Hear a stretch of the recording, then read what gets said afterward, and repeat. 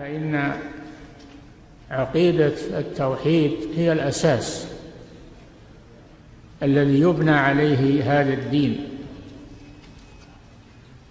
ولهذا مكث النبي صلى الله عليه وسلم في مكة بعد البعثة ثلاثة عشر عاما يدعو إلى التوحيد. إلى إفراد الله جل وعلا بالعبادة وترك عبادة ما سواه. ويقول صلى الله عليه وسلم أيها الناس قولوا لا إله إلا الله تفلحوا. وقال لقريش لما اجتمعوا إليه عند الصفا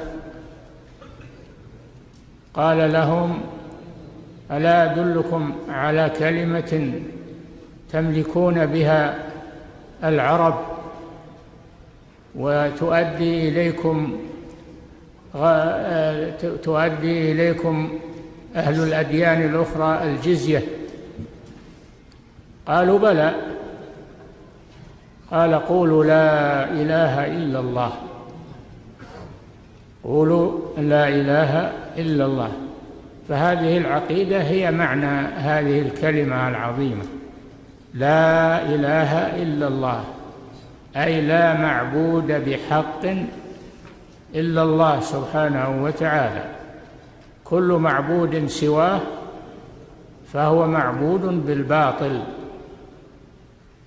هذا معنى هذه الكلمة العظيمة التي بدأ الرسول صلى الله عليه وسلم بالدعوة إليها.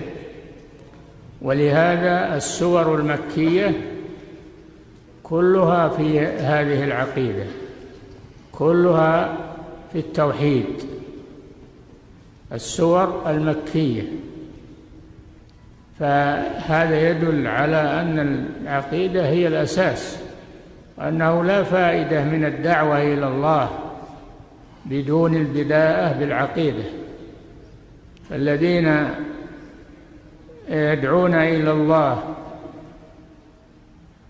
ولا يبدأون بالعقيدة ولا يهتمون بها دعوتهم فاشلة ولم تنتج شيئا.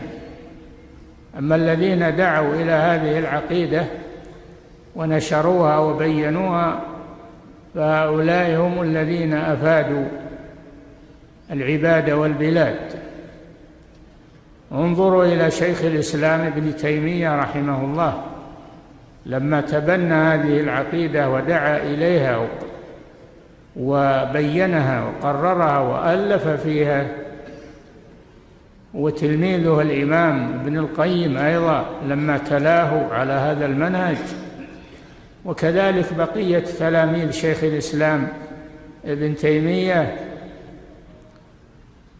فإنهم لما بنوا على هذا الأساس وأصلوا دعوتهم عليه نجحت دعوتهم والحمد لله وأفادت وأثمرت كتبا كثيرة معلومة بأيدي المسلمين في مشارق الأرض ومغاربها. فهذه العقيدة هي الأساس الذي يبنى عليه سائر الدين وسائر العبادات. فعمل بدون عقيدة هذا عمل ضايع وباطل ودعوة بدون العقيدة دعوة فاشلة لا ثمرة فيها.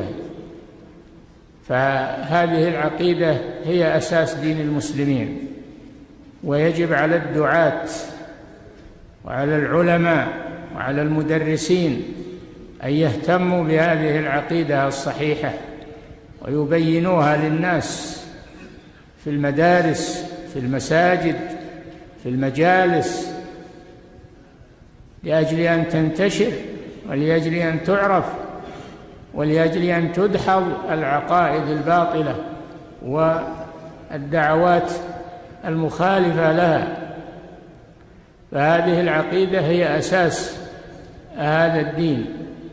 السور المكية كلها في هذه العقيدة وتأسيس هذه العقيدة. ثم بعد ذلك لما ترسخت العقيدة تنزلت الأحكام الفقهية على رسول الله صلى الله عليه وسلم في القرآن العظيم والسنة النبوية.